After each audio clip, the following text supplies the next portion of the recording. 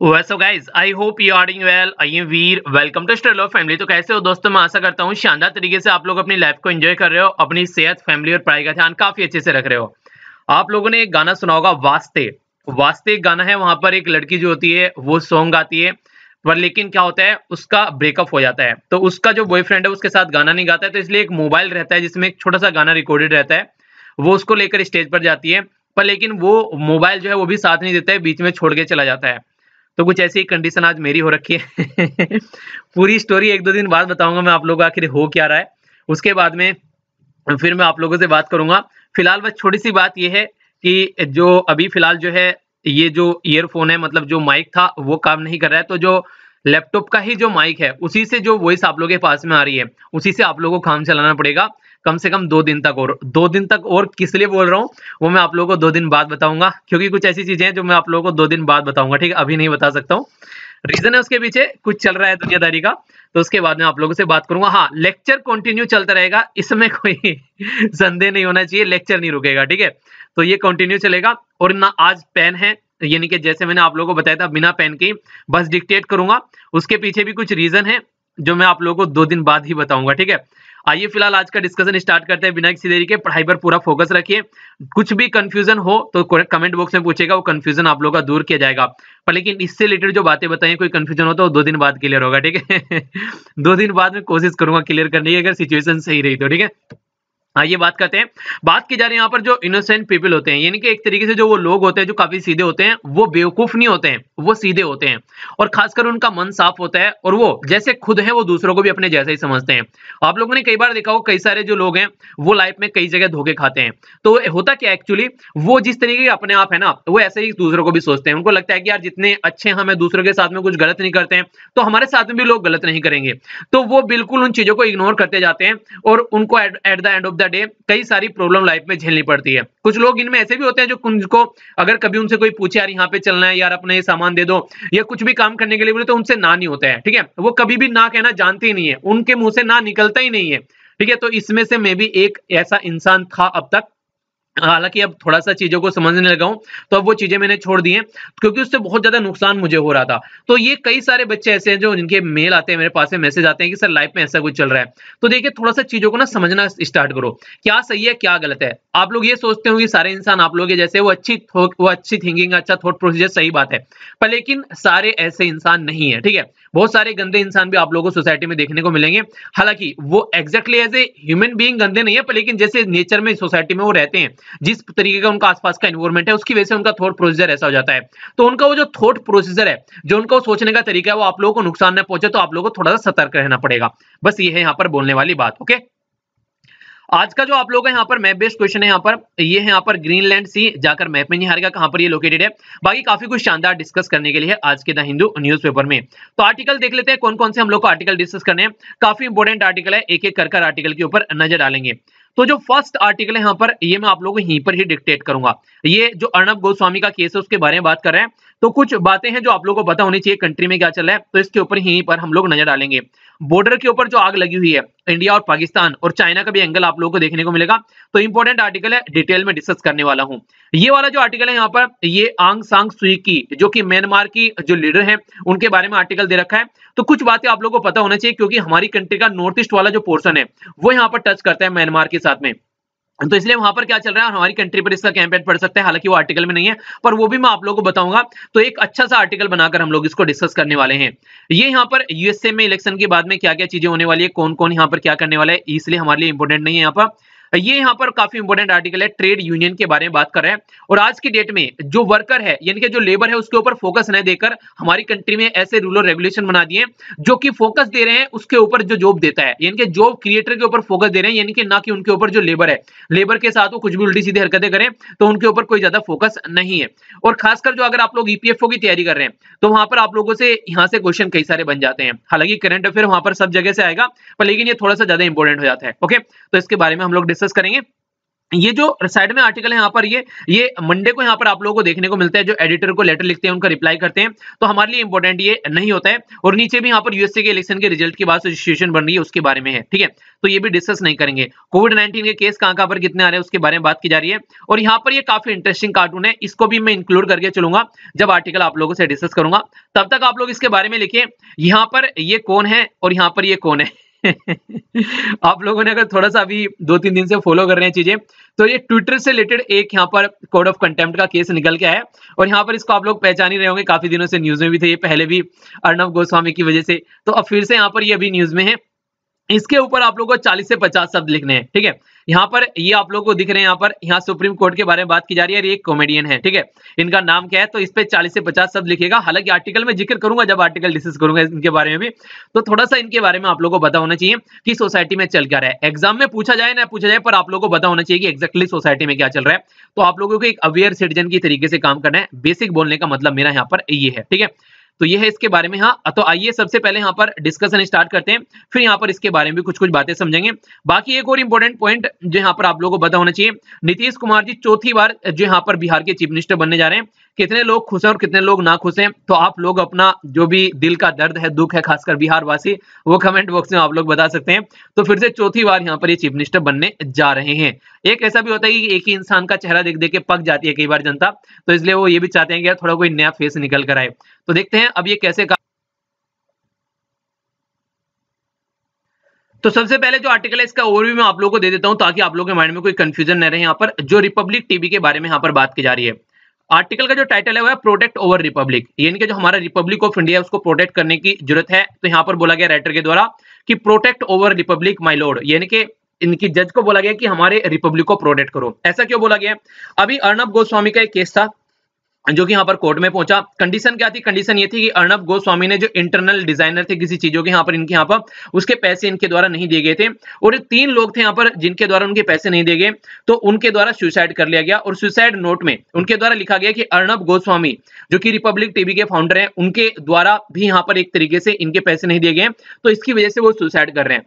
तो उस टाइम पर जो केस था महाराष्ट्र गवर्नमेंट के अंदर ये केस वहाँ पर उस टाइम पर दबा दिया गया और उस टाइम पर यहाँ पर इनको कोई भी केस नहीं चला क्योंकि वहाँ पर गवर्नमेंट जो थी, वो प्रेजेंट गवर्नमेंट ही थी वहाँ पर, जो आज के में सेंट्रल गवर्नमेंट है। पर लेकिन जैसे वहाँ पर गवर्नमेंट चेंज हुई तो कंडीशन जो है ग्राउंड लेवल पर चेंज हुई और फिर यहाँ पर वो केस फिर से खुलकर आया और यहाँ पर अर्णब गोस्वामी को अरेस्ट कर लिया गया। अरेस्ट जो अर्णब गोस्वामी को किया गया। उसमें दो पहलू आप लोग यहाँ पर देखने को मिलेंगे। एक तो राइट पहलू और एक जो है जिसको गलत पहलू बता रहे हैं। देखिए, दो तरीके से सिचुएशन आप लोग समझ सकते हैं। अर्णब गोस्वामी को क्या इस तरीके से अरेस्ट करना चाहिए था? अर्णब गोस्वामी का क्या किसी भी सिटीजन को इस तरीके से अरेस्ट करना चाहिए था? जैसे अर्णब गोस्वामी को पकड़ा गया। तो इसका सीधा सीधा आंसर है नो यानी कि किसी भी सिटीजन को इस तरीके से आप लोग नहीं पकड़ सकते। जब तक कि कोई इस तरीके से प्रूफ नहीं हो हाँ जब तक कि कोई सोसाइटी को खतरा ना उसकी वजह से हो रहा हो तो वो एक अलग मुद्दा बन जाता है। पर लेकिन इस तरीके से पर्टिकुलर पर्सन को गिरफ़्तार कर लेना, पहले पुलिस को सबूत जुटाने चाहिए और उसके बाद में पैटर्न को थोड़ा लेकर चलना चाहिए था। तो स्टेट गवर्नमेंट के द्वारा ये बोला गया कि गलत डिसीज़न लिया गया, जिस तरीके से उसको गिरफ़्तार किया गया अर्णब गोस्वामी को। पर लेकिन कंडीशन यहाँ भी है, हम लोग इसको जर्नलिस्ट के तरीके से नहीं देख सकते, क्योंकि ये केस जो है वो जर्नलिज्म से रिलेटेड है ही नहीं है। क्योंकि उनका इंटरनल मैटर था वहाँ पर, जिसमें उनके द्वारा इंटीरियर डिज़ाइनर का कुछ अपने यहाँ काम कराया गया और उसका पैसा नहीं दिया गया, उसकी वजह से उसने सुसाइड कर लिया। तो ये एक तरीके से ये नहीं बोल सकते कि उनको गिरफ़्तार किया गया तो एक जर्नलिस्ट को गिरफ़्तार कर लिया गया। नहीं, ये केस ही दूसरा इसमें जर्नलिस्ट वाला मुद्दा है ही नहीं है यहाँ पर। हाँ इंडायरेक्ट वे में जर्नलिस्ट वाला मुद्दा है क्योंकि ये महाराष्ट्र गवर्नमेंट के खिलाफ ये काफ़ी बोलते थे तो इसलिए इनको महाराष्ट्र गवर्नमेंट ने अपना बदल लिया। तो वैसे बोल सकते हैं कि जर्नलिज्म का मुद्दा इसमें आ जाता है। पर लेकिन डायरेक्टली ये केस कोर्ट में पहुँच रहा है तो जर्नलिस्ट का मुद्दा इसमें नहीं है। वो वहाँ पर जो सुसाइड जो एक तरीके से की गई है बंदे के द्वारा, उसका ये केस बना यहाँ पर। पर लेकिन अब यहाँ पर जो दूसरा गलत काम अभी देखने को मिला, वो है यहाँ पर कोर्ट का। नॉर्मली अगर नॉर्मल पर्सन हो, मान लीजिए मैं हूँ या फिर आप हो, हमारे ऊपर कोई ऐसा केस लग जाए तो पहले हम लोग सेशन कोर्ट में जाएँगे। सेशन कोर्ट से अगर सेटिस्फाई नहीं होंगे, उसका डिसीज़न आने के बाद में हाई कोर्ट में जाएँगे। हाई कोर्ट में अगर फिर चीज़ें नहीं हो पाती, तब सुप्रीम कोर्ट में जाएँगे। ये बंदा जो है सेशन कोर्ट में गया ही नहीं, ठीक है? ये सीधा हाई कोर्ट में गया और हाई कोर्ट का भी प्रॉपर टाइम हाई कोर्ट को भी प्रॉपर आनंद फानन में यहाँ पर एक तरीके से हाई कोर्ट को जो डिसीज़न देने पड़े, वो भी ऐसा लग रहा था कि एक तरीके से इसी के लिए जो कोर्ट है, वहाँ पर फ्री बैठा हुआ है। सारी चीज़ों को छोड़कर। सेम काम सुप्रीम कोर्ट ने किया। सुप्रीम कोर्ट इतने दुनियादारी के केस आज के में कोर्ट के सामने पड़े हुए बहुत सारी प्रेग्नेंट वुमेन है, बहुत सारे बुज़ुर्ग लोग हैं। जो यातनाएँ झेल रहे हैं आज के डेट में जेल में, पता नहीं क्या क्या कंडीशन चल रही है। उनके सारे केस छोड़कर यहाँ पर जो अर्णब गोस्वामी के केस में कूद जाना सुप्रीम कोर्ट को।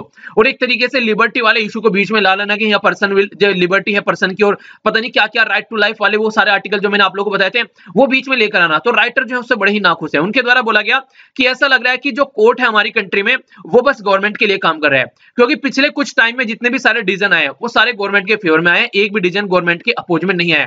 और जो डिसीज़न गवर्नमेंट के अपोज में आ सकते थे, वो अब तक पेंडिंग पड़े हुए हैं। जैसे कि आर्टिकल 370 में क्या करना था, अब तक पेंडिंग पड़ा हुआ है। इसी के साथ में जैसे अभी आंध्र प्रदेश के अंदर जो, सॉरी, तेलंगाना के अंदर जो केस चल रहा है, तेलंगाना नहीं, आंध्र प्रदेश के अंदर, आंध्र प्रदेश के हाँ आंध्र प्रदेश के अंदर, आंध्र प्रदेश के अंदर जो केस चल रहा है अभी कैपिटल वाला, वहाँ पर वो सारा जो केस था वहाँ पर, वो वहाँ पर पेंडिंग पड़ा क्योंकि वो वो एक तरीके से, उसमें भी वहाँ पर एक तरीके से जो अपोजिट टू गवर्नमेंट जाकर वहाँ पर बातें करनी थी, यानी कि जो सेंट्रल गवर्नमेंट है, उसके अपोजिट में कोई भी केस यहाँ पर जो आ रहा है, उसको पेंडिंग में डाल दे रहा है। इवन आप लोग ये समझिए कि जो एक केस था, जो काफ़ी लंबे समय से शाहीन बाग का, वो केस का डिसीज़न दब आया, जब वहाँ पर शाहीन बाग का मुद्दा ही खत्म हो गया वहाँ पर। तो यानी कि अभी यहाँ पर जो राइटर है, वो काफ़ी गुस्से में है, बोल रहे हैं कि protect our republic my lord यानी कि एक तरीके से, हे भगवान, एक तरीके से माई लॉर्ड कोर्ट को बोला गया कि हमारे रिपब्लिक को प्रोटेक्ट करो। आप तो बिल्कुल उसके लिए काम ही नहीं कर रहे हो। बिल्कुल अंधाधुंध होकर आप लोग काम कर रहे हो। इवन जो अभी कार्टून में आप लोगों को दिखा रहा हूँ, वहाँ पर कुणाल कामरा के द्वारा एक ट्वीट किया गया तो कंटेम्प्ट ऑफ़ कोर्ट का चार्ज उसके खिलाफ लगा दिया गया, यहाँ पर कंटेम्प्ट ऑफ़ केस तो यानी कि कहने का मतलब यहाँ पर ये ही लोगों को बोलने तक नहीं दिया जा रहा है। और ये वही कुणाल कामरा है जिन्होंने यहाँ पर अर्नब गोस्वामी से क्वेश्चन पूछे थे फ़्लाइट के अंदर में। और ये भी कंडीशन वहाँ पर ये निकल के आए कि जब अर्नब गोस्वामी के जो जर्नलिस्ट है वो फ़्लाइट के अंदर घुसकर किसी से क्वेश्चन पूछता है तो वो सही है। पर लेकिन अर्नब गोस्वामी से अगर कोई क्वेश्चन पूछता है तो वो गलत है। तो यानी कहने का मतलब यहाँ पर ये कि अगर कोई इंडिपेंडेंट जर्नलिस्ट अगर कोई काम कर रहा है तो उसको यहाँ पर ढंग से लेकर नहीं चला जा रहा है। बाकी का सबके लिए सारे काम किए जा रहे हैं। तो यहाँ पर जो राइटर है वो पूरा गुस्सा उगल रहे हैं। तो ये एक ओवरव्यू है जो मैंने अभी आप लोगों को बताया।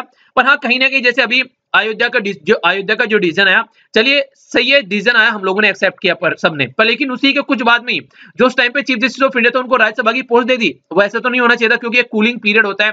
कम से कम उसमें थोड़ा टाइम देना चाहिए था, क्योंकि जुडिशरी को डायरेक्ट आप लोग पोलिटिकल पोस्ट दे रहे हो इस तरीके से पॉलिटिक्स में लेकर आ रहे हो। तो कितने हद तक वो सही है? तो लोग तो ये सोचेंगे ना कि इन्होंने इनके फेवर में डिसीज़न दिया, इसलिए इनको यहाँ पर गिफ्ट मिला है। तो वो सारी चीज़ें थोड़ा सा लेकर चलनी चाहिए और कहीं ना कहीं चुप बैठे रहे जब आर्टिकल 370 को चेंज किया गया। अब तो पूरा एक डेढ़ साल हो चुका है, अब उसके ऊपर बातें क्यों नहीं की जा रही है? तो वो सारे मुद्दे तो ये सारे, कई सारे मुद्दे ऐसे जिसके ऊपर क्वेश्चन मार्क लगाया जा रहा है। तो ये थे सारे मुद्दे, बाकी आइए अब कुछ इंपोर्टेंट इश्यू देख लेते हैं यहाँ पर। ये तो जो भी चल रहा है कंट्री में, वो मैंने बताया। अभी बात करते हैं क्वेश्चन के बारे में। सबसे पहले आप लोगों के सामने क्वेश्चन है। Discuss the current state of India and Pakistan relation and comment करना आप लोगों को वे फॉरवर्ड की दोनों के रिलेशन जो है कंट्री के बीच में कैसे आज के डेट में। किस तरीके से उनको आगे अच्छे लेवल पे हम लोग ला सकते हैं बेसिकली ये बोलने की कोशिश की जा रही है। तो सबसे पहले आप लोग यहाँ पर इसको देखिए, तभी आप लोग समझ पाएँगे, यहाँ पर दो धारी तलवार यहाँ पर चल रही है। यानी कि हमारी कंट्री जो है, दो फ्रंट पर लड़ रही है। एक साइड में आप लोगों को चाइना देखने को मिलेगा, यानी कि एलएसी यानी कि लाइन ऑफ़ एक्चुअल कंट्रोल और दूसरी साइड में आप लोगों को देखने को मिलेगा एलओसी यानी कि यहाँ पर लाइन ऑफ़ कंट्रोल यानी कि लाइन ऑफ़ कंट्रोल जो है, वो इंडिया और पाकिस्तान के बीच में लाइन है बॉर्डर लाइन और लाइन ऑफ़ एक्चुअल कंट्रोल जो है इंडिया और चाइना के बीच में ये लाइन है। ये जो एक्साइज चीन वाला जो पोर्सन है राइट साइड वाले, यहाँ पर हाँ एक बच्चे के द्वारा कमेंट किया गया कि, सर, जब मैप आप दिखाया करो वर्ल्ड वाला खासकर, उसमें ये बता दिया करो कि इंडिया के लेफ़्ट में जा रहे हो इंडिया के राइट में जा रहे हो। क्यों? उसका रीजन क्या था? उसका रीजन उन्होंने लिखा भी कि उनका एक फ्रेंड है ये ट्विटर जो ये जो कमेंट किया मुझे इंस्टाग्राम पे किया बंदे ने जाकर कमेंट ठीक है? तो मैं देख रहा था तो मुझे वहाँ पर एकदम नज़र पड़ गई तो अच्छा लगा मुझे। देखिए, अगर कोई ऐसा इशू अगर तो वो ज़रूर बताए कि जैसे मैप में मैं चल रहा हूँ, कोई बंदा ऐसा है जो कि ओनली सुन पाता है, देख नहीं पाता है। और मैं उसको बोलता हूँ कि मैप में यहाँ पर ये है, ठीक है? तो मान लीजिए उसको दिखता नहीं है तो उसको ये पता होना चाहिए कि इंडिया के मैप के राइट में जा रहा हूँ या इंडिया के मैप के लेफ़्ट में जा रहा हूँ। तो ये एक इशू मुझे लगा। तो आगे से मैं इसको ध्यान रखा करूँगा, फिर भी अगर भूल जाता हूँ तो आप लोग प्लीज़ इसको रिकॉल कराया कीजिए। तो ये एक अच्छा पॉइंट है, ताकि जो बच्चे जो, जिनको दिख नहीं पाता है, यानी कि जो, जिनको दिखता नहीं है, वो भी लेक्चर सुनते हैं। तो उनके भी माइंड में क्लैरिटी रहे, खासकर मैप को लेकर, ठीक है? तो ये बेसिकली एक अच्छा पॉइंट मुझे लगा। तो ऐसे पॉइंट आप लोग ज़रूर बताया कीजिए, अगर किसी को ऐसी दिक्कत होती है तो ठीक है? तो ये तो बाकी यहाँ पर जैसे इंडिया के मैप में आप लोग देखिए तो यहाँ पर जब आप लोग राइट साइड में जाएँगे तो ये चाइना के कंट्रोल में पोर्सन है और लेफ़्ट साइड में जब आप लोग जाएँगे तो यहाँ पर ये पाकिस्तान के कंट्रोल में पोर्सन है। जिसको गिलगित बल्तिस्तान बोलते हैं पाकिस्तान के कंट्रोल में और जिसको एक्साई चीन बोलते हैं, ये चाइना के कंट्रोल में है। तो चाइना के द्वारा ये पोर्सन हमारा जो हड़पा गया था नाइनटीन की, यानी कि उन्नीस की वॉर के बाद में चाइना के द्वारा यहाँ पर ये कंट्रोल कर लिया गया। और इसी में आप लोगों को यहाँ पर गालवान वैली देखने को मिलेगी, जो रिसेंटली अभी न्यूज़ में थी। सियाचिन जो ग्लेशियर है, जो यहाँ पर जो एलओसी और एलएसी के बीच में लगभग आप लोग यहाँ पर सियाचिन ग्लेशियर देखने को मिलता है नॉर्थ साइड में मैप के, ठीक है? तो ये काफ़ी इंपोर्टेंट एरिया है। बाकी ये जो वाला पोर्शन आप लोग यहाँ पर दिख रहा है, ये यहाँ पर जो गिलगित बल्दिस्तान वाले पोर्शन से सटा हुआ है, यानी कि एलएसी की साइड में तो ये लेफ़्ट साइड में थोड़ा सा आप लोग चलेंगे। तो ये आप लोग को देखने को मिलेगा कि ये पाकिस्तान के द्वारा चाइना को दे दिया गया था, ये एरिया गिफ्ट कर दिया गया था इनके द्वारा इनके एरिया हमारा गिफ्ट कर रहे हैं पाकिस्तान वाले। तो ऐसी कंडीशन आप लोगों को देखने को मिलती है। तो ये पूरा जो एरिया है, अब हमारी कंट्री के लिए दिक्कत क्रिएट कर रहा है। रीजन क्या है? एक साइड में पाकिस्तान आ गया और दूसरी साइड में आ गया चाइना, और दोनों मिलकर लंगोटिया यार हमारी कंट्री के लिए प्रॉब्लम क्रिएट कर रहे हैं। तो उसी के बारे में क्या आर्टिकल है समझते हैं। आर्टिकल में ये बोला गया कि अभी आप लोगों को सीज फायर वोलेशन देखने को मिला। सीज फायर क्या है? हमारी कंट्री में इंडिया और पाकिस्तान के बीच में 2003 में एक एग्रीमेंट साइन किया गया था कि हम लोग बॉर्डर पर आकर एक दूसरे के साथ में लड़ाई नहीं करेंगे। पर लेकिन ऐसा हुआ नहीं। तब से लेकर लगातार लड़ाई चलती रहती है और तब से लेकर तो छोड़िए। अब की जनवरी से ही अगर हम लोग काउंट करते हैं अब तक नवंबर के महीने तक तो चार हज़ार से ज़्यादा बार वॉयलेशन हो चुके हैं। यानी कि आप लोग ये समझिए एक एक दिन में कई कई बार वॉयलेशन होते हैं, एक साल में तीन दिन होते हैं, और हम लोग बोल रहे हैं चार हज़ार से ज़्यादा वोलेशन हो चुके हैं। तो आप लोग समझ सकते हैं कि एक एक दिन में कितनी बार वहाँ पर तानातनी चलती रहती है। तो अभी रिसेंटली जो सीज फायर वोलेशन हुआ हमारी कंट्री और जो पाकिस्तान के बीच में जो बॉर्डर है वहाँ पर तो उसमें हमारी कंट्री के चार जवान इसी के वो वो छह जो लो, जो लोकल लोग हैं वहाँ के इसी के साथ में चार जो इंडियन आर्मी के जवान हैं और बीएसएफ एक पर्सनल तो इनकी जान चली गई यहाँ पर जो फायरिंग इसमें चल रही थी। यानी कि आप लोग ये बोलिए कि आज की डेट में यहाँ पर इतनी बुरी कंडीशन है कि लगभग इतने सारे जो लोग हैं हमारी कंट्री के लगभग ग्यारह के करीब लोगों की जान चली गई यहाँ पर इंडिया और पाकिस्तान के बॉर्डर पर। ऑफिशियल जो पाकिस्तान मीडिया है उनके द्वारा बोला गया कि एक पाकिस्तानी सोल्जर और पाँच जो सिविलियन है उनकी जान गई है। क्रॉस बॉर्डर के बारे में अगर बात करें। इंडियन गवर्नमेंट के द्वारा पाकिस्तान को यहाँ पर एक तरीके से बोला है कि पाकिस्तान ने जो फायरिंग की है, ये फायरिंग वो किसी मकसद से करते हैं। मकसद क्या रहता है? इनका दो मकसद रहते हैं। देखिए ये क्या करते हैं बेसिकली जब जब अब सर्दी आ रही है तो सर्दी आने पर यहाँ पर अगर आप लोग इस पर्टिकुलर एरिया में जाएँगे तो यहाँ पर बर्फ़ जम जाती है। तो बर्फ़ जम जाती है, बहुत बड़े बड़े जो बर्फ़ बर्फ़ के एक तरीके से प्रत जम जाती है यहाँ पर।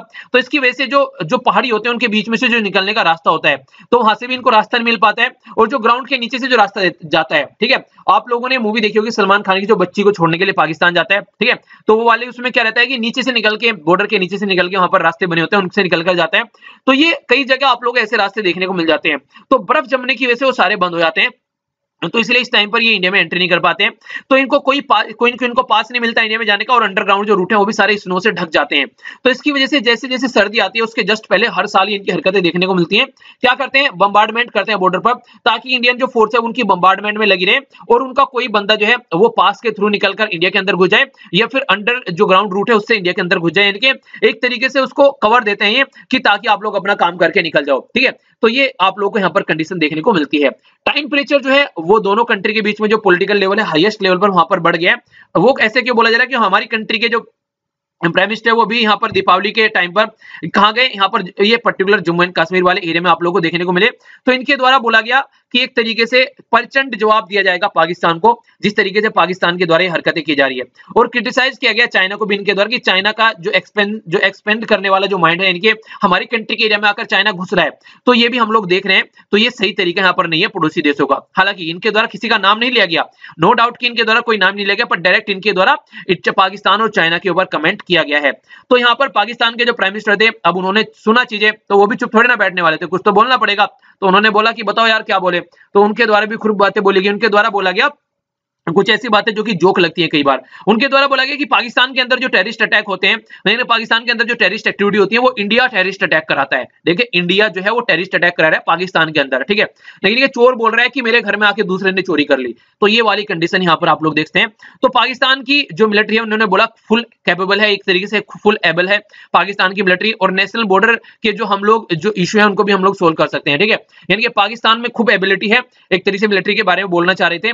और इसी के साथ में नेशनल जो बॉर्डर है, एक तरीके से इश्यूज़ हैं, उनको भी यहाँ पर रिसोल्व कर सकते हैं नेशनल जो रिजोल्व करते हैं इशू को। यानी कि डिफेंड करते हैं एक तरीके से बॉर्डर को लेकर बातें की गई। बॉर्डर के ऊपर ऐसा लगता है कि बैठकर वहाँ पर बिरयानी खा सकते हैं, आराम से बैठकर।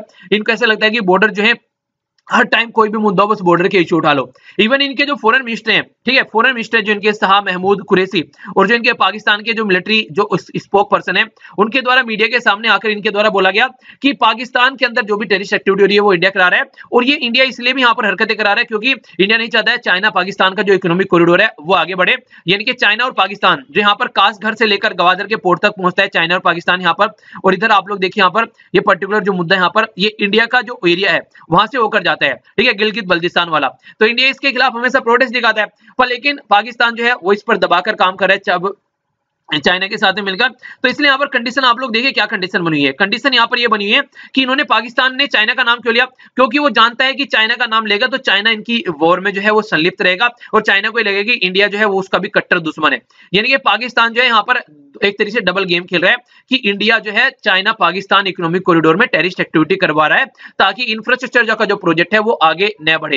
हालाँकि पाकिस्तान ने बोल दिया कि इंडिया ने बोल दिया पाकिस्तान को कि भैया पाकिस्तान की जो भी ये मीडिया में जो कमेंट निकल कर आ रहे हैं, वो सारी मनगढ़ंत कहानियाँ हैं, इनका वास्तविक जीवन से कोई संबंध नहीं है और अगर संबंध होगा तो भी इसे मात्र एक संयोग कहा जाएगा, फिर संबंध होगा तो फिर उरी जैसा कंडीशन आप लोगों को देखने को मिलेगी, ठीक है?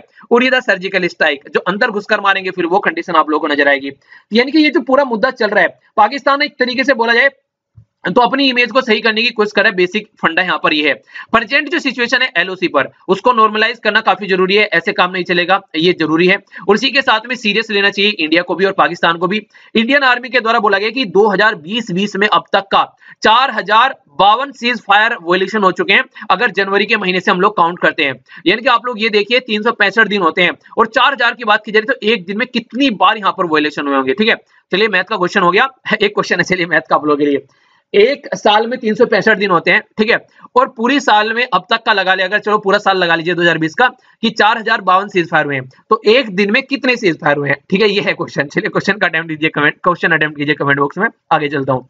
पाकिस्तान जो है यहाँ पर ये आज की डेट में देखें तो इंडिया को भड़काने का काम कर रही है। उसका रीजन क्या है? उसके रीजन कई सारे हैं। उसके पीछे गेम खेला जा रहा है। पहला रीजन तो यहाँ पर यह कि अगर पाकिस्तान आज के डेट में इंडिया को भड़काने में काबिल हो जाता है तो इंडिया जो है, जो सिक्योरिटी काउंसिल में जाने वाली है जनवरी 2021 से तो हमारा दो साल का टाइम ड्यूरेशन स्टार्ट होने वाला है as a non permanent member यानी कि यूएन की सिक्योरिटी काउंसिल में दो साल के लिए इलेक्शन हमारा हुआ है, दो और दो के लिए। और इस दो हज़ार बाईस में हमारा जो आज़ादी का जो सालगिरह है, वो भी हम लोग सेलिब्रेट करने वाले हैं।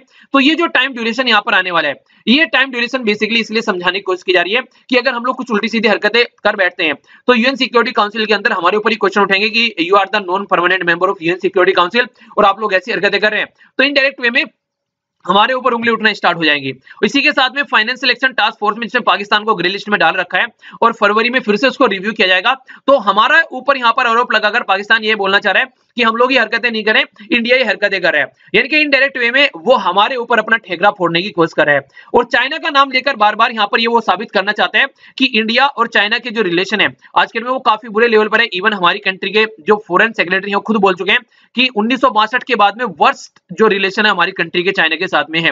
और रीजन क्या है? रीजन है एलएसी एलएसी और जहाँ पर पीएलएन के जो पीपल्स रिपब्लिक ऑफ़ आर्मी है चाइना की यहाँ पर, ठीक है? तो वो यहाँ पर एक ऐसी हरकतें करती है, जिसकी वजह से इंडिया और चाइना जो रिलेशन है, वो काफ़ी बर्बाद लेवल पर पहुँचे हुए हैं।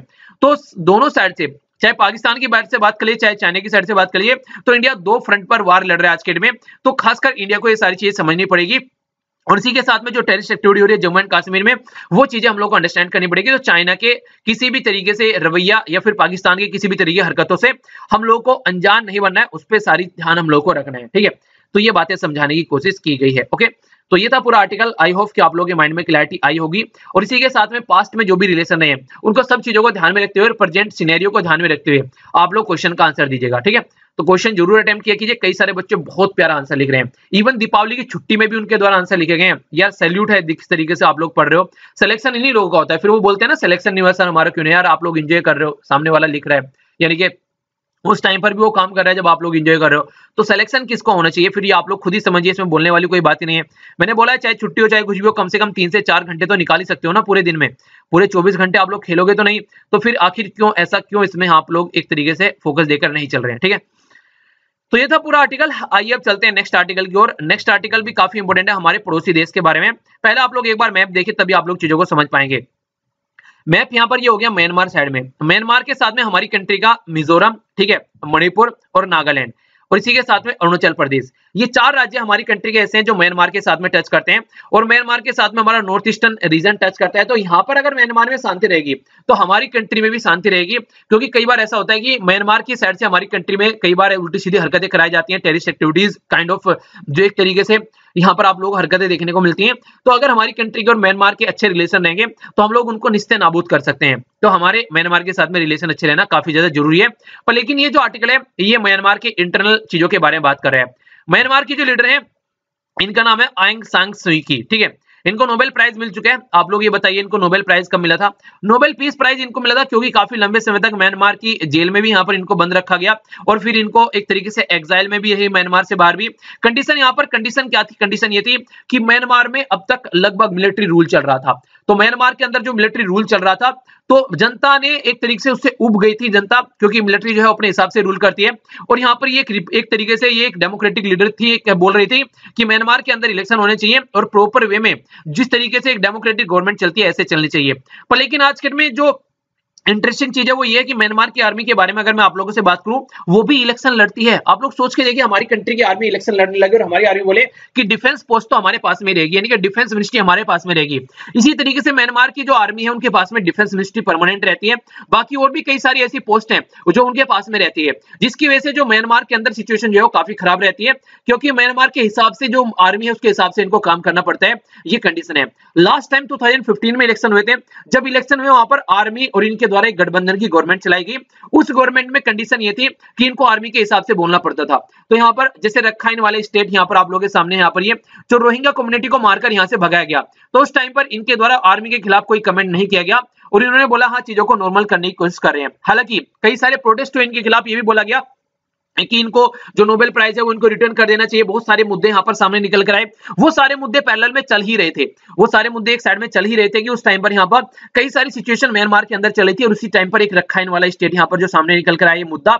रोहिंगा कम्युनिटी को मार मारकर भगाया गया और बोल रहे थे कि इनको नोबेल पीस प्राइज दिया गया तो कंडीशन अब ये बनी कि जो ये इनके ऊपर आरोप लग रहे थे इंटरनेशनल लेवल पर तो लोकल एरिया के जो लोग हैं, उन्होंने बोला, यहाँ पर खासकर जो इनको सपोर्ट है कि आप लोग ये बोल रहे हैं दूर दूर से, ये दूर दूर से अच्छा लगता है। इंटरनल क्या कंडीशन हमारी कंट्री की वो समझिए। अभी फ़िलहाल यहाँ पर इलेक्शन हुए तो 476 सीट में से 340 सीटें जीत कर रहे हैं और 322 सीट चाहिए यहाँ पर एक तरीके से गवर्नमेंट को, जो फुल मेजोरिटी में पार्टी बनाने के लिए, इनकी कंट्री के हिसाब से। बाकी अगर बात करें मिलिट्री के लिंक, जो मेन अपोजिशन है और जो यहाँ पर डेमोक्रेटिक पार्टी है दूसरी, वो ओनली 25 सीट यहाँ पर जीत पाई। यानी कि सारी सीट आंग सांग सुई की जीत कर चलेगी 2015 में भी यहाँ पर प्रो डेमोक्रेसी आइकन की तरीके से इनको देखा गया था। फुल डेमोक्रेटिक ट्रांजिशन की बात कर रहे थे, पर लेकिन कंडीशन ऐसी हो नहीं पाई। तो आंग सांग सुई के है, वो प्रेसिडेंट बनने से उनको रोक दिया गया था। लास्ट टाइम भी यहाँ पर प्रेसिडेंट नहीं बन पाई थी। और संविधान में अगर चेंज भी करना पड़ जाए तो संविधान में चेंज करना भी यहाँ पर आर्मी की हेल्प से आप लोगों को करना पड़ेगा। तो संविधान में वो चेंज भी नहीं कर पाए। रेखाइन वाले स्टेट में लगभग चार लाख चालीस के करीब जो रोहिंग्या कम्युनिटी है, उनका एक्सोडस हुआ, यानी उनको निकाल दिया गया। तो एक तरीके से डेमोक्रेसी के ऊपर एक डेंट लग गया। जैसे गाड़ी के ऊपर डेंट लग गया। ठीक है? तो यानी कि इनके जो इमेज थी, उसके ऊपर एक डेंट लग गया कि हाँ एक तरीके से एक ऐसी लीडर उनके सामने काम हो रहा है और ये चुप है। ये क्वेश्चन उठाने के कैपेबल नहीं थे क्योंकि आर्मी जो है तुरंत अपने हाथ में पावर ले ले और यहाँ पर तुरंत इनको भी यहाँ पर बाहर निकाल के फेंके। तो जो आंग सांग सुई की के सपोर्टर है, वो हमेशा ये बोलते हैं कि इंटरनल कंडीशन जो हमारी कंट्री में वो भर काफ़ी कॉम्प्लेक्स है। पहले आप लोगों को वो समझनी पड़ेगी, उसके बाद में कमेंट क्या कीजिए।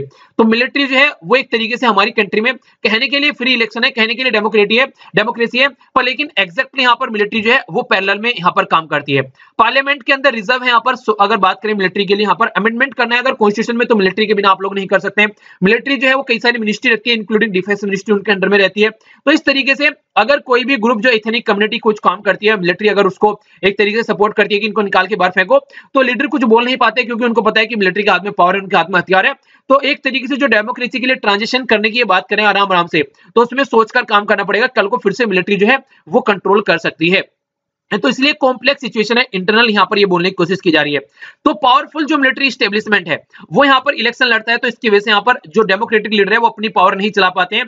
तो यहाँ पर आज की डेट में, अब समझने वाली बात है कि इसका नॉर्मल सोल्यूशन क्या निकलना है। मिलिट्री की जो जो डिक्टेटरशिप है, वो भी फ्रेश है, अभी लोग भूले भी नहीं है।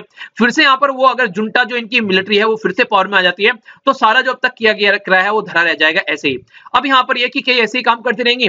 अब सेकेंड टर्म इनकी स्टार्ट हो गई है, काफ़ी सारा इनके पास में मेजोरिटी है। तो फिर से जनरल जनता जो है और मिलिट्री जो है उसके बीच में एक बफर का काम करती रहेंगे, या फिर जो इश्यूज़ है उनको भी सोल्व करने की काम करेंगे। यानी कि जीनोसाइड जो है उसके खिलाफ कुछ बोलेंगे नहीं, या कोई नया एक सिस्टम स्टेब्लिश करने की कोशिश करेंगे या नहीं, या फिर ऐसे मिलिट्री से डरकर बैठ रहेंगे तो फिर इनका चुनकर आने का फ़ायदा क्या है? आप लोग ये बताइए। तो अब देखते हैं कंडीशन क्या बनती है। अच्छी खासी मेजोरिटी के साथ में है अब ये मेजोरिटी को कैसे बुना पाते हैं तो वो चीज़ें हम लोग को आगे देखने को मिलेगी। यानी कि अब यहाँ पर आगे जो है मुद्दा, वो काफ़ी इंपॉर्टेंट यहाँ पर आने वाला है, खासकर इनकी पावर को ध्यान में रखते हुए, ठीक है? तो ये बातें यहाँ पर बोली गई हैं। नेक्स्ट जो आर्टिकल है, ये एक इंटरेस्टिंग आर्टिकल आप लोग बोल सकते हैं। यहाँ पर इस आर्टिकल में जो बात की जा रही है, वो ये है कि अभी रिसेंटली हमारी कंट्री में लेबर लॉज रिफॉर्म लेकर आए गए। तो लेबर लॉ में के अंदर जो रिफॉर्म लेकर आए गए, वो सारे रिफॉर्म जो है, वो कहीं ना कहीं जो उनको ढंग से अगर देखा जाए वो जो जॉब करने वाली लेबर है, उसके खिलाफ में और जो जॉब देने वाली कंपनीज़ है, उनके फेवर में है यहाँ पर ये। तो यहाँ पर अभी बोला गया कि काफ़ी ज़्यादा वर्कर की जो एबिलिटी है, उनके सेफ़ गार्ड पर एक तरीके से अटैक किया गया सेंट्रल गवर्नमेंट के द्वारा, जो बहुत सारे लेबर लॉज है, उनको चेंज कर चार लेबर लॉज हमारी कंट्री में लाए गए हैं। लेबर लॉ में अगर रिफॉर्म के बारे में बात करें तो ये आज की बात नहीं है, ये उन्नीस सौ इक्यानवे में चीज़ें स्टार्ट हुई थी। तो यहाँ पर जो सॉल्यूशन निकाला गया था, बोला कहते कि यहाँ पर हम लोगों को सॉल्यूशन करना पड़ेगा कुछ ना कुछ, ताकि इकोनॉमिक ग्रोथ यहाँ पर हो सके, क्योंकि हमारी कंट्री में प्राइवेटाइजेशन लाया गया लिबरलाइजेशन लाया गया ग्लोबलाइजेशन लाया गया। तो सबने ये सोचा कुछ ना कुछ चीज़ें यहाँ पर चेंज होंगी अच्छे से तो हमारी कंट्री में जॉब क्रिएशन अच्छा होगा। तो 1998 से लेकर 2002 तक का जब बीजेपी की गवर्नमेंट थी, उनके द्वारा सेकंड नेशनल लेबर कमीशन लाया गया। उस टाइम पर यहाँ पर एक तरीके से जो लिमिटेड ट्रेड यूनियन है, उसकी रिप्रेजेंटेशन को कंट्रोल करने की कोशिश की गई। ट्रेड यूनियन क्या होता है? आप लोग मान लीजिए आज के डेट में किसी पर्टिकुलर एरिया में काम करना स्टार्ट करते हैं। तो आप लोग की आवाज़ उठाने के लिए आप लोग एक यूनियन बनाते हैं। ताकि अगर कुछ गलत होता है, आप लोग की आवाज़ को सुना नहीं जाते हैं तो उसको एक तरीके से यूनियन बोलते हैं। और ट्रेड के फ़ील्ड में अगर कोई ऐसी यूनियन होती है तो ट्रेड यूनियन ऐसी फार्मर की यूनियन होती है, ठीक है? तो हर एक एरिया में ऐसी यूनियन होती है जो उनकी आवाज़ उठाने का काम करती है। तो यहाँ पर कॉन्सिक्वेंस एक तरीके से क्या हुआ यहाँ पर?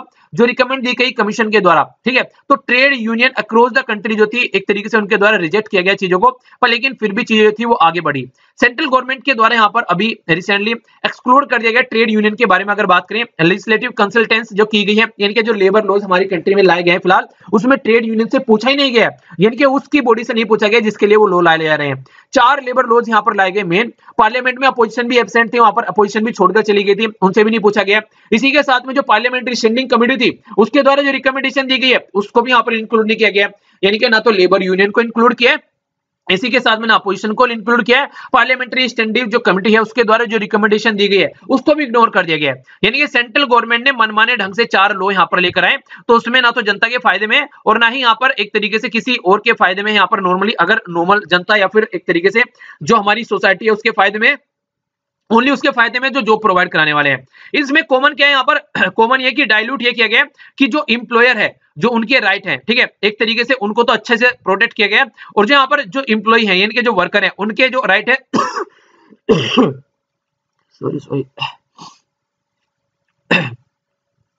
वन सेकेंड तो यहाँ पर क्या बोल रहा था? मैं ये बोल था कि जो वर्कर हैं, उनके तो जो राइट है, उनको डायल्यूट किया गया और जो जॉब देने वाले हैं, जो इंप्लॉयर हैं, उनके जो राइट है, उनको प्रोटेक्ट किया गया है। एक तरीके से अंडरमाइन किया जा रहा है वर्कर का जो राइट है, उनके जो एसोसिएशन है, या उनके जो कलेक्टिव एक्शन है, उनको बिल्कुल साइड में रखा जा रहा है। ट्रेड यूनियन जो है यहाँ पर पहली बार जो इमर्ज होकर आई, वो नाइनटीन सेंचुरी में यहाँ पर इमर्ज होकर आए और उस टाइम पर बोला गया कि मैनेज किया जाएगा, जो वर्कर है, उनसे रिलेटेड जो भी प्रॉब्लम है, उनकी दिक्कतों को सामने रखा जाएगा, उनकी आवाज़ को उठाया जाएगा। पर लेकिन अब की बार ऐसा नहीं हो रहा है, सारी चीज़ों को साइड में रख दिया गया है। जो ट्रेड यूनियन के थ्रू वर्कर की, जो बेसिकली बेटर कंडीशन को बात करते हैं, उनको अच्छे से वेज मिलनी चाहिए, कि फेयर इंप्लॉयमेंट कंडीशन होनी चाहिए सेफ़ और सिक्योर वर्क प्लेस होना चाहिए, यानी कि जहाँ पर वो काम करे वो अच्छा होना चाहिए। पर लेकिन आज की डेट में अगर आप लोग देखेगा ये सारी चीज़ों को ताक पर रख दिया गया है। तो वर्कर अगर बात करें उनके लीगल राइट के बारे में सब चीज़ों को साइड में रख दिया गया इंडिया के अंदर अभी फ़िलहाल। और इसी के साथ में कॉलोनियल रूल नहीं था, एक तरीके से कॉलोनियल रूल टाइम की जो कंडीशन थी, वो बन के यहाँ पर सामने निकल कर आ रही है, जब अंग्रेज़ जो हरकतें किया करते थे। यानी कि वर्कर के ऊपर ध्यान नहीं रखते थे, वो बस अपने प्रॉफिट के ऊपर ध्यान रखते थे। आज के डेट में प्रेजेंट गवर्नमेंट भी ऐसा ही कुछ कर रही है, ऐसा यहाँ पर राइटर बोल रहे हैं। अगर बात करें कॉलोनियल रूल में 1926 में ट्रेड यूनियन लाई गई, उस टाइम पर उसके हाथ में कुछ पावर थी, आज के डेट में उनको और भी डायल्यूट किया जा रहा है।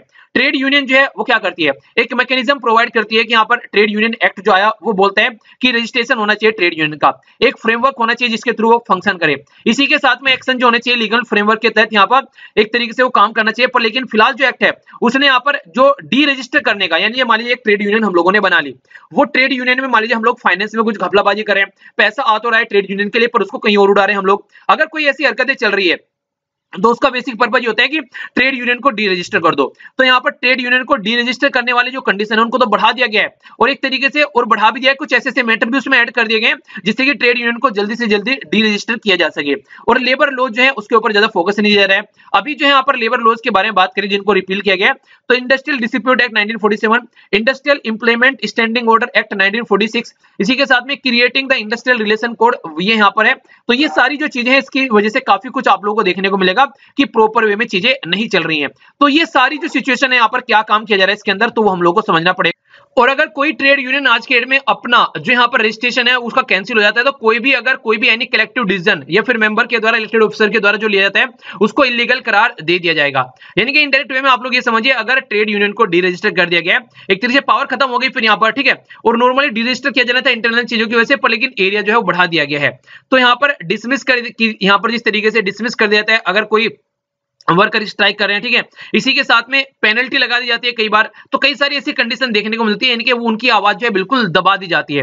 इसका मतलब क्या है? इसका मतलब ये सीधे सीधे ट्रेड यूनियन के थ्रू जो इम्यूनिटी मिली हुई थी यहाँ पर जो इलेक्टेड ऑफिसर को, वो सारी इम्यूनिटी छीन ली जाती है। और इन डायरेक्ट वे में आप लोग ऐसा बोलिए कि इम्यूनिटी का कोई मतलब ही नहीं रहता ट्रेड यूनियन को ही डिजिस्टर कर दिया जाता है तो फिर वो इम्यूनिटी भी यहाँ पर क्या रह जाएगी?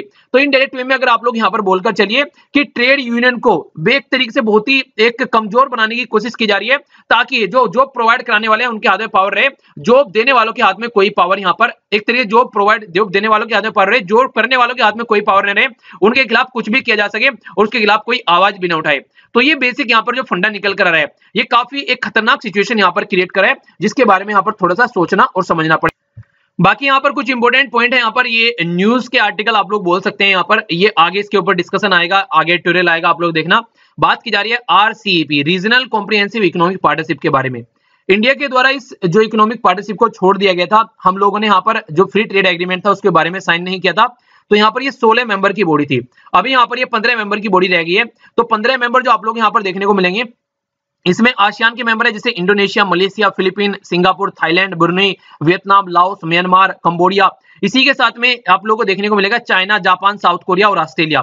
पर लेकिन यहाँ पर इंडिया नहीं है, क्योंकि इंडिया इससे बाहर निकल गया था। जो मेंबर है वो nearly thirty percent of the global GDP यहाँ पर आप लोगों को देखने को मिलेगी। आरसीपी जो है यहाँ पर ये ये बात करें प्रोविज़न ऑफ़ द जो गुड्स और सर्विसेज़ है, इसी के साथ में इंटेलेक्चुअल प्रॉपर्टी जो राइट है, इसी के साथ में ई कॉमर्स टेलीकोम्युनिकेशन ठीक है मीडियम एंटरप्राइज जो है telecommunication small and medium enterprise और सारे इशू पर बात करेंगे। थ्री लार्जेस्ट जो इकोनॉमिक पैक्ट है यहाँ पर खासकर अगर बात करें, China, Japan, South Korea part है यहाँ पर फ्री ट्रेड एग्रीमेंट का। तो वो चीज़ें देखने को मिलेगी। नवंबर चार 2019 में, यानी कि लास्ट ईयर लगभग इसी टाइम पर इंडिया जो ऐसे बाहर निकल गया था, क्योंकि इंडिया को इशू पसंद नहीं आ रहे थे। एक तो सबसे बड़ी बात थी, अगर हम फ्री ट्रेड एग्रीमेंट साइन करते हैं इनके साथ में तो सबसे बड़ी कंडीशन हमारी कंट्री में देखने को मिलती, चाइना का माल हमारी कंट्री में फ्लड हो जाता। यानी कि चाइना का बहुत सारा माल हमारी कंट्री में बेचा जाता। तो हम लोग क्या करते हैं उस टाइम पर? तो हमको अपनी कंट्री के जो छोटे छोटे जो काम करने वाले जो लोग हैं, उनको हम लोगों को प्रोडक्ट करना था। दूसरा, ऑस्ट्रेलिया में जो डेयरी प्रोडक्ट है तो उनके किसानों को प्रोडक्ट हमारी कंट्री में फ्लड हो जाता। तो उसके बारे में हम लोग कुछ सोल्यूशन निकालना था। यानी कि ये सारी जो सिचुएशन हम लोग को अपनी कंट्री के फ़ायदे के बारे में यहाँ पर सोचना था। तो सारी सिचुएशन देखने को यहाँ पर मिल रही थी। तो इसी के बारे में यहाँ पर जो थोड़ा सा समझ लेते हैं रीजनल कॉम्प्रिहेंसिव इकोनॉमिक पार्टनरशिप के बारे में। तो ये सारी कंट्रियाँ आप लोगों के सामने जो मैंने दिखा रखी है। बाकी जो रीजनल कॉम्प्रिहेंसिव इकोनॉमिक पार्टनरशिप है फ्री ट्रेड एग्रीमेंट इसमें लाने की बात की जा रही थी। टेन मेंबर आसियान कंट्री के साथ मिलकर सिक्स जो थी वो इंडो पैसिफिक जो स्टेट थे यहाँ पर। वो कौन कौन थे यहाँ पर? मैंने अभी आप लोगों को बताया। आसियान कंट्री दस हो गए, उसके बाद में चाइना था, इंडिया था, जापान था, साउथ कोरिया था, और यहाँ पर आप लोगों को देखने को मिलेगा ऑस्ट्रेलिया था और न्यूजीलैंड था। पर लेकिन आसियान मेंबर तो ऐसे के ऐसे ही हैं। यहाँ पर जो पाँच मेंबर है, वो रह गए, इंडिया बाहर निकल गया तो बच गए कौन से? न्यूजीलैंड, साउथ कोरिया, जापान और यहाँ पर चाइना, ठीक है? और ऑस्ट्रेलिया। तो ये पाँच मेंबर यहाँ पर बच गए अब देखने वाली कंडीशन यहाँ पर आप लोग ये भी देखिए। अभी फ़िलहाल क्वाड ग्रुप में जो है, वो यहाँ पर इंडिया यूएसए ठीक है, जापान और ऑस्ट्रेलिया थे। पर लेकिन क्वाड ग्रुप से यहाँ पर ये चारों काम कर रहे हैं, पर लेकिन क्वाड ग्रुप वाले जो मेंबर है, दो यहाँ पर है, जापान और ऑस्ट्रेलिया। तो कैसे यहाँ पर चीज़ों को लेकर चलने वाले चाइना के साथ में फ्री ट्रेड एग्रीमेंट रहने वाले वो सिचुएशन कैसे बनने वाली है? तो काफ़ी कुछ यहाँ पर एक दूसरे का इंटरेस्ट यहाँ पर जुड़ने वाला है। तो उसमें कैसे एक बैलेंस बनाकर चला जाएगा? तो देखने वाली बात होगी यहाँ पर। दो हज़ार सत्रह में रीजनल इकोनॉमिक पार्टनरशिप जो है बोला जा रहा था कि लगभग वर्ल्ड की 3.4 बिलियन पॉपुलेशन ये काउंट करते हैं, क्योंकि इंडिया और चाइना सबसे बड़ी पॉपुलेशन कंट्री यहाँ पर आप लोगों को देखने को मिल रही थी। अब ये घट गई होगी काफ़ी ज़्यादा, क्योंकि इंडिया इससे बाहर निकल गया। तो अब आने वाले टाइम में अगर इंडिया को इसका पार्ट बनना है तो ये इंटरेस्टिंग है यहाँ पर। ये लाइन देखिए आप लोग। India will have to reapply for membership यानी कि अब अगर इंडिया इसका पार्ट बनना चाहते तो फिर से इंडिया को रीअप्लाई इसके अंदर करना पड़ेगा। यानी कि इंडिया को बाहर निकाल दिया गया। निकाल दिया गया हम खुद ही छोड़ कर आए हैं, क्या निकालें? ये तो पीछे पड़े हुए थे, भैया, ज्वाइन कर लो, ज्वाइन कर लो। तो हमारी कंट्री के जो प्राइम मिनिस्टर उन्होंने पार्ट बनने से इसका मना कर दिया, बोला कि इससे हमारी कंट्री को काफ़ी ज़्यादा नुकसान पहुंचेगा हमारे किसानों को काफ़ी ज़्यादा नुकसान पहुंचेगा एक अच्छा डिसीज़न आप लोग इसको बोल सकते हैं, ठीक है? हाँ इसके साथ में अब नेगोशिएशन हम लोग करेंगे, कैसे यहाँ पर हमारे फेवर में कुछ काम किया जाएगा तो उसके बेस पर हम लोग इसको आगे ज्वाइन कर सकते हैं। पर फ़िलहाल के लिए एक अच्छा डिसीज़न था, हमारी कंट्री के पॉइंट ऑफ़ से अगर देखा जाए तो सेंट्रल गवर्नमेंट के द्वारा एक अच्छा डिसीज़न लिया गया था, ठीक है? तो एक अप्रिशिएट करने वाला डिसीज़न था, हमारी कंट्री के किसानों को ध्यान में रखते हैं वो सारी कंडीशन अगर हम लोग देखते हैं तो। तो यही बहुत बोली गई, अभी यहाँ पर थर्टी सेवन यानी कि यहाँ पर सैंतीसवीं आसियान समिट में यहाँ पर जो वर्चुअल हुई, यहाँ पर ये सारे डिस्कशन किए गए। तो अब आगे चलकर रीजनल कॉम्प्रिहेंसिव इकोनॉमिक पार्टनरशिप कैसे बनने वाली है, क्या कंडीशन इसकी चलने वाली है, उसके ऊपर कई सारे आर्टिकल आप लोगों को देखने को मिलेंगे। तो वो सारी चीज़ें हम लोग टाइम टू टाइम डिस्कस करते रहेंगे, ठीक है? तो ये था टोटल आज का डिस्कशन आई होप कि आप लोगों ने इसको अच्छे से एंजॉय किया होगा। तो जो क्वेश्चन आप लोगों से पूछा गया, उसका आंसर आप लोग ज़रूर देना। तो क्या क्या हम लोगों ने देखा? स्टार्टिंग में हम लोगों ने कोडिशन देखी, इसके बाद में मैप बेस्ड क्वेश्चन था आप लोगों के सामने। नेक्स्ट हम लोगों ने यहाँ पर ओवरव्यू देखा सारे आर्टिकल्स का। आर्टिकल जो हम लोगों ने सारे डिस्कस किए हैं, इसी के साथ में एक कार्टून भी हम लोगों ने देखा। ठीक है तो निहार, ये बिहार के चीफ मिनिस्टर बनने, वो सारी चीज़ देखी। इंडिया पाकिस्तान के जो रिलेशन है, उसके बारे में आप लोगों को मैंने क्वेश्चन भी दिया, जो कि आप लोग को अटेम्प्ट करना है। तो इस क्वेश्चन को आप लोग अच्छे से अटेम्प्ट कीजिएगा। तो जो भी चीज़ें हैं, जो मैंने आप लोगों को समझाई है, या जो आप लोगों की समझ में आई है, जो चीज़ें आप लोगों को लग रहा है अच्छी है वो सारी चीज़ आप लोगों को बतानी है। इसी के साथ में इंडिया और म्यांमार के रिलेशन के बारे में बात की। नेक्स्ट हम लोगों ने यहाँ पर रीजनल कॉम्प्रिहेंसिव इकोनॉमिक पार्टनरशिप के बारे में बात की लेबर लॉज के बारे में बात की अर्णब गोस्वामी का जो सुप्रीम कोर्ट का केस है उसके बारे में बात की। तो ये था टोटल आज का हमारा डिस्कशन ठीक है? बाकी अगर आप लोगों को लेक्चर यहाँ तक आप लोग देख चुके हैं लेक्चर में आप लोग कुछ भी अच्छा लगा है तो आप लोग अपना फीडबैक ज़रूर दीजिएगा। तभी आप लोगों को लेक्चर शेयर और लाइक करना है। अगर पसंद आता है, पसंद नहीं आता तो बिल्कुल भी ना तो शेयर करना है, ना ही लाइक करना है और डिसलाइक करके जाइएगा और कमेंट बॉक्स में बताना डिसलाइक क्यों पीडीएफ सारी आप लोग टेलीग्राम से जाकर डाउनलोड कर लीजिएगा और ट्विटर और हाँ ट्विटर पर एक काफ़ी इंटरेस्टिंग छोटी सी मैंने क्लिप शेयर की थी। एक छोटा सा बच्चा जो है, वो वहाँ पर एक तरीके से सैल्यूट कर रहा है, जो आई के जवान है। एक लगभग सोलह सेकंड की आई थिंक सोलह जन छह, दस सेकंड के करीब की वीडियो है। काफ़ी प्यारी लगी मुझे वो। तो मतलब ऐसी ऐसी चीज़ें शेयर करते रहा करो, कई बच्चे शेयर करते हैं, चीज़ें तो अच्छा लगता है तो मैं भी उसको सोशल मीडिया पर शेयर कर देता हूँ, ठीक है? इंस्टाग्राम पर आप लोग कनेक्ट हो सकते हैं यहाँ पर मेरे साथ में। यहाँ पर पिक्चर्स जो होती है मेरी पर्सनल वो शेयर की जाती है और फेसबुक पर भी मेरे साथ कनेक्ट रह सकते हैं। तो मिलता हूँ नेक्स्ट लेक्चर में। बड़ो को नमस्ते, छोटों को प्यार, छोटी सी लाइफ एंजॉय कराया, तब तक के लिए जय हिंद।